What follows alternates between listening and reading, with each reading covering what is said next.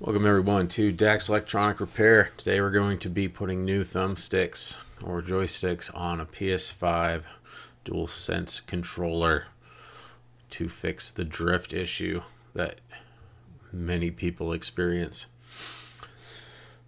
That is where you are standing still or not moving your thumbstick, but your guy's moving. It's quite uh, obnoxious. Anyway, so first we've got to take apart the controller uh, you pop that bottom part off of there starting underneath. It exposes two screws on the bottom of the controller grips. Take them out.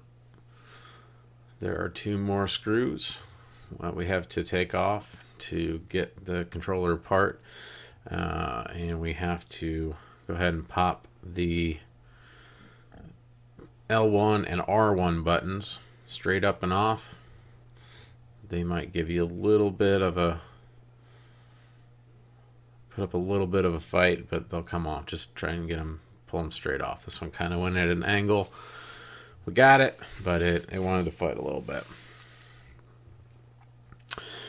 So once you've done that, and eventually I will do that, as such and so. You can see the two other black screws underneath there. Take them out.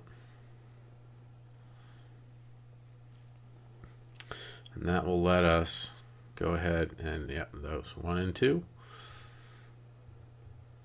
That will let us crack this baby open. Um, start at the bottom. Yep, just like that.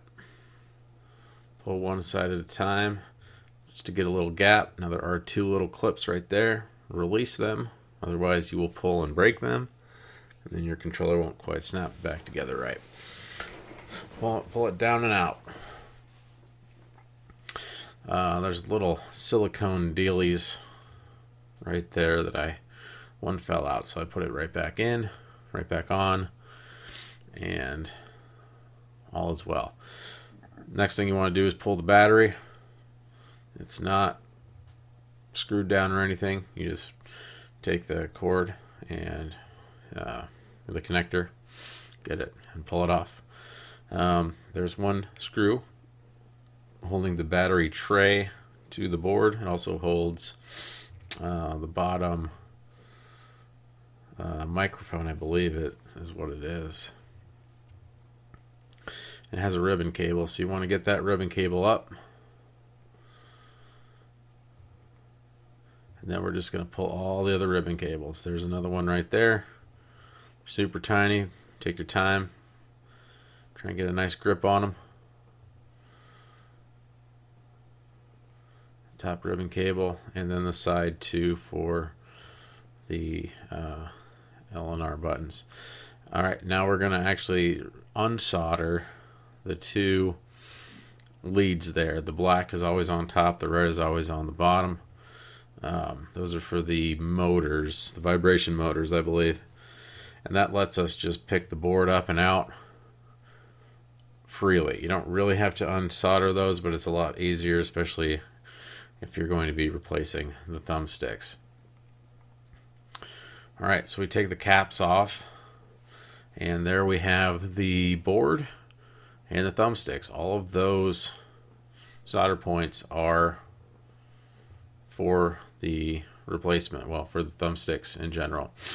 So, what you're going to want to do, I use my little soldering stand to clamp it because we are going to go ahead and get some hot air at 450 and we're going to start melting all that all the solder points at once. You want to be real careful doing this because you can see there are plastic connectors for the ribbon cables we just took off. Um, you want to keep your hot air away from those or you will melt them. Um, as you can see, that's all you have to do. And then just take your time. And then the way I like to do it is I go in with my sucker and I suck out each one of the solder holes. That way I can just put the new legs in and I don't have to worry about heating up the board any more than I already have.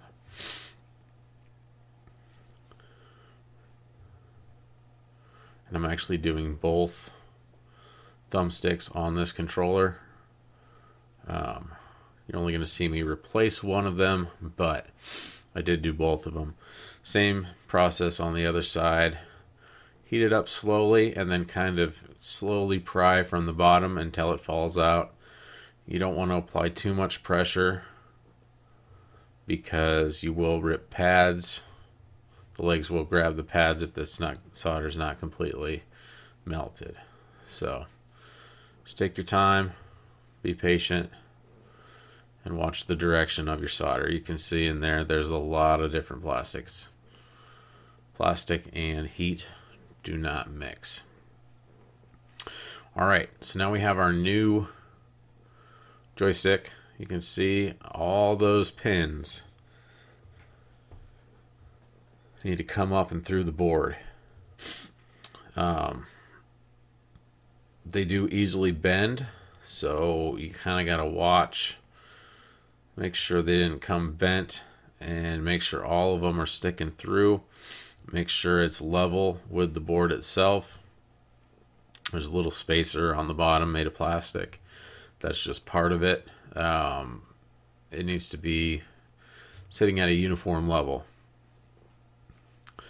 And now all we do is we just go through and we solder those those legs, all those points, all those legs. Um, fill it up until it's nice and all around. Nice little cone shape.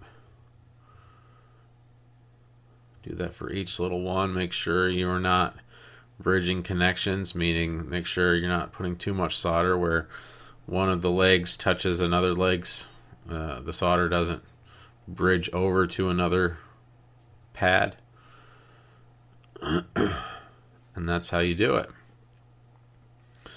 I go ahead and get the board cleaned up a little bit just to be nice and, and fancy. You can see there's a little bit of discoloration from the heat, but there's no damage to the board itself.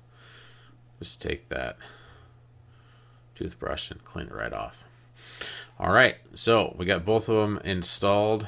Same deal on the other side. I didn't record that, um, but exactly the same way.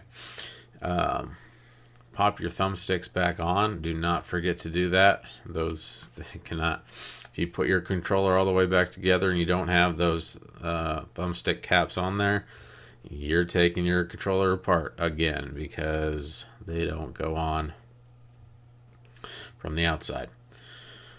All right, so now we're just going to go ahead and get all of our ribbon cables hooked back up exactly the same way we unhooked them.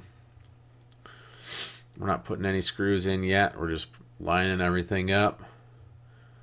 I like to do that first because then we don't have ribbon cables uh, just flopping around when we're going to solder our our leads for our uh, positive and negative black and uh, red leads.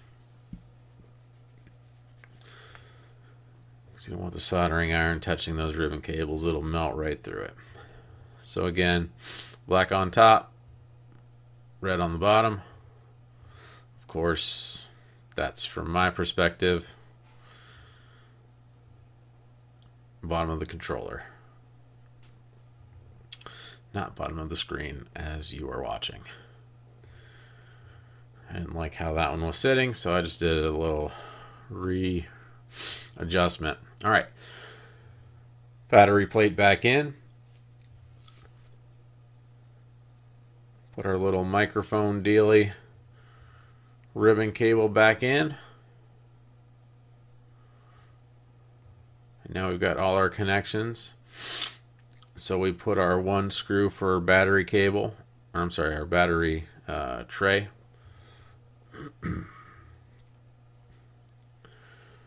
I guess we have one more connection. We got the battery itself, which we will now do.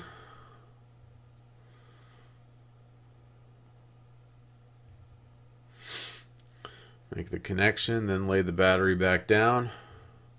It will only go in one way. Do not force it to try and go in the other way. You will short things out. Then we take our back cover and put it over the top first, over the top buttons, and then squeeze it on down the line. Uh, top two screws, just as we took them out. Going under the L and L1, R1 buttons that we'd taken out as well.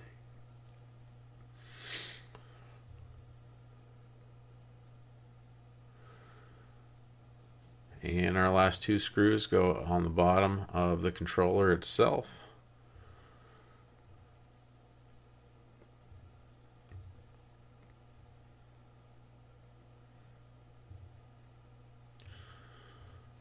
Make sure the controller is actually, yeah, mated. Make sure it's in the right position, otherwise you'll screw into air and it won't do anything and you'll look foolish on the internet. All right, last thing we have to do is put our faceplate or uh, last little cover on. This is a customized controller with a lady's face on it. Her name is Jessie, and she's nice. All right, do it that way, and then uh, do the, the top first, and then you squeeze all the way to the bottom. And finally, last but not least, we pop our L1, R1 button on. They just push straight down. Excuse my hands, by the way. I was working on a motorcycle right before this. They are very clean. They are just stained. And that's how you do that. Now you got brand new thumbsticks with no controller drift. Now all you got to do is go test it out on your favorite video game shooters. Thank you so much for checking out my video. Please like, subscribe, and comment. And again, thank you for watching. Love you all.